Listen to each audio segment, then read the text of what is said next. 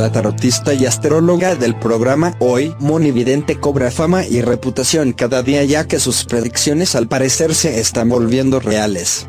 Y cada vez son más los que creen en ella y la siguen con fervor para intentar averiguar qué depara el futuro. El pasado 29 de enero, durante su sesión en el programa Hoy, la vidente lanzó un de sus vaticinios el cual, en su momento muchos pensaron que se trataba de un fraude para llamar la atención de público y así conseguir fama. Pero recientemente su predicción se volvió realidad, por lo cual muchos escépticos quedaron con la boca abierta y muy intrigados.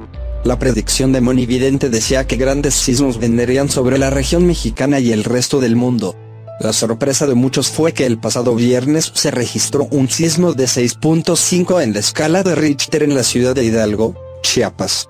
Según el Instituto de Sismología de México no se activaron las alarmas ya que en un principio el sismo no liberó la suficiente energía para ser considerado de gravedad. Afortunadamente, según el gobernador de Chiapas no hubo víctimas que lamentar. Por lo que parece este sismo llegó en el momento oportuno para darle credibilidad a la astróloga monividente, ya que sus predicciones a principios de año se han hecho realidad, aunque por sus redes sociales la vidente aseguró revelaciones que a más de uno le enfrió la piel. Por medio de su cuenta en Instagram Monividente asegura que este no será el único sismo que se registrará en México, y que este fue solo el comienzo de una serie de temblores en todo el mundo. Esta no es la primera vez que Monividente acierta en sus predicciones y aunque algunos piensan que se trata de simples golpes de suerte, otros piensan que verdaderamente tiene una conexión con el más allá por lo cual puede predecir el futuro con certeza.